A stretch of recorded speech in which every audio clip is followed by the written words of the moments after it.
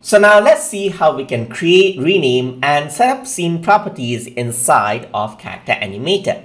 So in order to work with anything, in order to work with puppets and graphics and arrange the layers, you need to work around with scenes in Character Animator. So to create scenes, you can go over here onto the top where it says scene and click on new scene.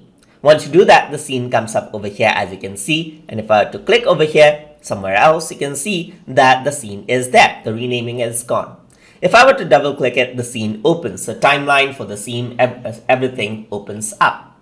So I can go over here and let's say I want to rename this. I can right click, rename this out, and I can go over here and say something like TutorTube, just like that.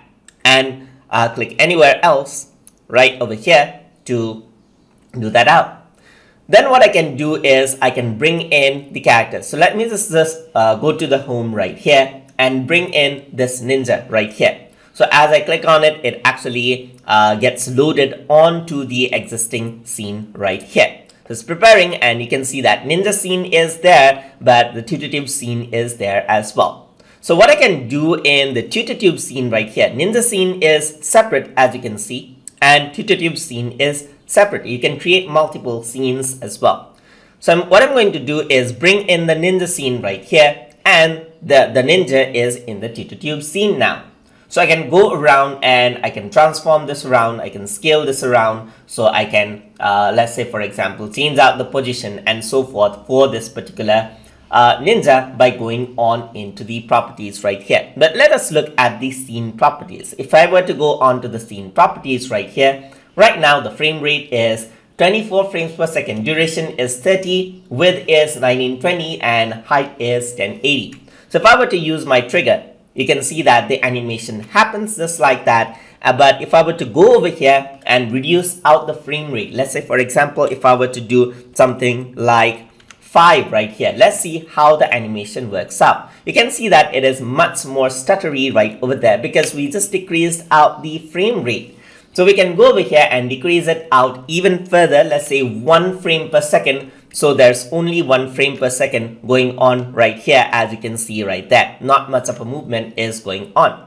So, and you can see it right here. You can see these bars right here that represents the frame. So I'm just going to go max right here. This tutorial is being recorded in 30 frames per second. So let me just go to 30 frames per second, go around and you can see that it is much more smoother. You can go around even more smoother by going on to 60 frames per second right here and it'll be much more smoother on your computer screen right here. But you may not see difference because this tutorial is in 30 frames per second itself.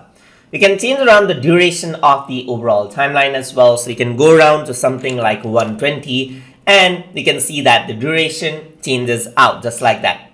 There's the timeline on the bottom and you can go around and zoom in and zoom around as well we're going to talk about timeline in further lessons. So let's just go around. Here you can change around the resolution as well. So it's 1920 by 1080. So let's go over here into, let's say 640 by 480 and let's see what happens. So the character is still there. You can see that it is zoomed around right over here. And now the frame size is 640 by 480, just like this. I can go around here onto uh, the scene settings right here. I'm just going to go to, let's say, for example, 1280 by 720 right over here. And then it changes around accordingly right here. It just crops out the size right here when we change around the scene properties. So that is how you can create scenes, rename, and set up scene properties and work with them inside of Character Animator. So hope you guys learned something as always. And as always, please like, comment, share, and subscribe.